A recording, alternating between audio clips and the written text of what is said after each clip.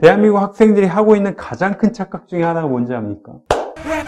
이렇게 이야기를 하잖아요. 남았을 때 남아성태, 남아성태, 남아성태, 남아성태. 여러분, 내가 진짜 수학 공부를 하는데 이해도 했고 수업도 열심히 들었다. 예제도 풀었다. 근데 응용 문제 안 풀려요. 단어를 외웠는데 질문에서 보면 기억이 안 난다고 그렇게 이야기를 합니다. 도대체 어떤 문제들 때문에 그럴까요? 여러 가지 이유가 있을 텐데 오늘 여러분들께 드리는 말씀 이 아마 가장 큰 이유일 겁니다. 간단한 테스트를 할 텐데요. 여러분들 연습장 백지를 하나 꺼낸 다음에 여러분들이 공부한 내용을 보지 않고 쓰는 겁니다. 지금부터 한번 써보십시오. 기억이 잘 나나요? 아마도 정말 기억나지 않을 겁니다. 우리가 어제 공부한 내용인데도. 그럼 여러분들 일주일 전, 한 달 전 공부했던 거는 지금 어디가 있겠습니까? 정말 빨리 잊혀집니다. 우리가 여러분 생각해 보세요. 결국 시험에서 실력을 발휘를 해야 되잖아요. 그 실력 발휘를 하려면 머릿속에 담고 있어야 되고 시험장에 가지고 뱉어놔야 됩니다. 그게 가능하려면 머릿속에 있어야 되지 않습니까? 이미 실험을 통해서 사람이 기억한 공부를 했을 때 그 내용이 얼마나 오래 가는지는 실험을 통해 밝혀졌습니다. 바로 이 그래프입니다. 여러분들 나, 중에 대학에 가서 뭐 심리학 공부를 한다고 한다면 이 그래프는 뭐 거의 기본이라고 보시면 될 텐데요. 처음 공부를 마쳤을 때 머릿속에 100이 들어있어요. 1시간 지났습니다. 55.8% 망각됐다. 24시간 하루 지났습니다. 64.2% 망각. 뭐 한 30 몇 프로 정도 머릿속에 남아있는 겁니다. 대한민국 학생들이 하고 있는 가장 큰 착각 중에 하나가 뭔지 압니까? 대부분 공부 마친 다음에 뭐라고 합니까?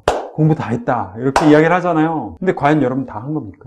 과연 시험에서 결과를 얻을 수 있겠습니까? 절대 안 되죠. 너무나도 중요한 그래프입니다, 여러분. 여기서부터 여러분 착각에서 벗어나셔야 됩니다. 거의 이건 뭐 금붕어? 금붕어가 얼마나 심각한지 압니까? 금붕어가 지능이 너무 낮잖아요. 그러다 보니까 기억을 못해요. 먹이를 이제 떨어뜨려 주잖아요. 그럼 그거 먹죠. 뒤에다가 먹이 하나 더 떨어뜨려 줘요. 그러면 얘가 뒤 딱 돌아오면 어 먹이가 있네 또 먹죠. 방금 먹었던 거 잊어버리고 내가 배부르다는 사실도 잊어버리고 또 먹습니다. 그러다 여러분 나중에 뱉어서 죽습니다. 금붕어가. 여러분 금붕어 수준 아니지만 여러분 근데 너무 슬퍼하지 마십시오. 사람이면 누구나 다 이렇습니다. 이렇게 빨리 잊혀지는데 우리 공부할 필요가 있겠습니까?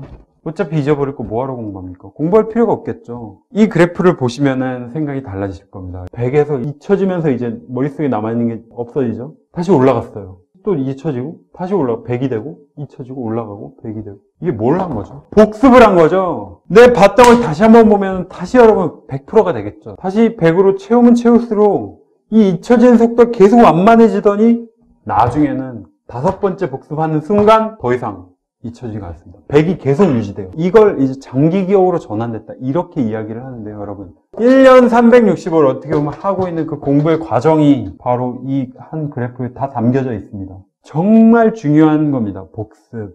거의 공부의 대부분 전략에 복습이 빠질 수가 없는데 물론 한 두세 번만 봐도 시험 보면 어느 정도 점수는 나올 수 있습니다. 한번 보면 이걸 책을 사진 찍듯이 머릿속에 간직하고 있는 사람 기억력이 굉장히 좋은 거죠. 너무나 드물어서 대부분은 여러분들과 똑같은 사람들입니다. 여러분들께서는 기본적으로 다섯 번을 봐야 된다는 생각을 가지시기 바라겠습니다. 대부분의 학생들은 이런 식으로 공부를 하는 게 아니라 이런 식으로 공부를 하고 있습니다. 자, 많은 학생들이 이렇게 공부를 하고 있는데 처음에 하나도 빠짐없이 머릿속에 있었어요. 점점 잊혀지는 게 늘어났더니 다 잊혀졌어요. 근데 새로운 게 또 생겼어요. 시간 지나면 또 잊혀지고 새로운 게 또 생겼네요. 또 잊어버리고 잊어버리고 이 학생은 공부를 안 한 게 아닙니다. 계속해서 공부를 했어요. 그럼 남아있는 게 이 정도면 거의 찌꺼기예요. 이, 이거 가지고 시험을 보면은 성적이 잘 나오겠습니까?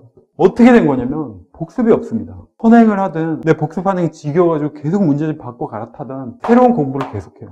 여러분 복습이 없으면 말짱꽝입니다. 말짱꽝. 열심히 내가 공부를 하는데도 성적이 오르지 않는다. 이거는 복습이 결여되어 있거나 복습에 대한 전략이 완전 꽝이어서 그렇습니다. 공부를 열심히 하는데 성과가 안 나온다. 복습의 전략이 잘못되어 있어요. 학원 과외막 이걸 많이 하는 사람들 중에 가장 많이 했던 학생이 13개를 합니다. 13개. 학원 다니고 뭐 인강부터 해가지고 엄청나게 많이 하고 있어요. 이 학생이 복습할 시간이 없습니다. 수업 듣고 바로 이동해가지고 또 수업 듣고 또 이동해 또 수업 듣고. 근데 여러분 성적이 잘 나오겠습니까? 찌꺼기 가지고 시험을 보고 있는 겁니다. 여러분들보다 성적이 훨씬 더 안 좋을 겁니다. 형, 성적이 형편없거든요. 근데 성적 그거 안 나온다 또 하나를 더 다니려고 하고 있는데 돈은 동대로 낭비하고 성적은 성적대로 계속 쫙쫙쫙 떨어지는 겁니다. 얼마나 많이 사교를 받고 이런 거는 학습에 있어서 성적을 오는 데 있어서 본질이 아닙니다. 결코 본질이 될 수 없어요. 공부법과 공부량이라고 말씀드렸지 않습니까? 여러분들께서는 공부를 하는데 내가 성적이 안 나온다. 내 머리가 나빠서 안 되나? 핑계 핑계를 대기도 하고 자기 비하를 막 할 겁니다. 여러분 제가 말씀드렸다시피 한 다섯 번 정도 보면 거의 완벽해질 수 있다고 생각하시면 좋겠습니다. 간단하게.